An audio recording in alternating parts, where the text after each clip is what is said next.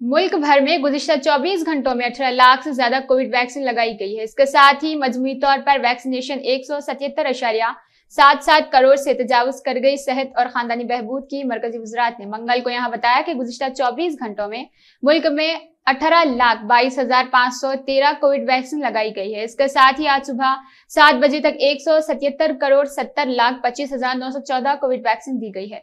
गुजरात ने कहा कि गुजशत चौबीस घंटों में कोविड इन्फेक्शन के छह हज़ार नौ सौ पंद्रह नए मरीज़ सामने आए हैं।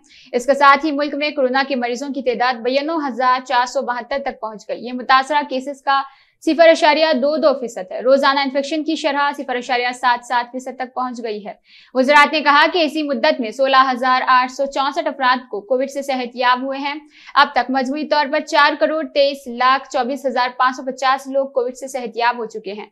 बहाली की शरह अठियानो अशारिया पाँच नौ फ़ीसद है। मुल्क में गुजशत चौबीस घंटों में नौ लाख तेईस हज़ार और छह सौ सैंतालीस कोविड टेस्ट किए गए और कुल चौसठ करोड़ तिरासी लाख बयासी हज़ार नौ सौ तिरानवे कोविड टेस्ट किए जा चुके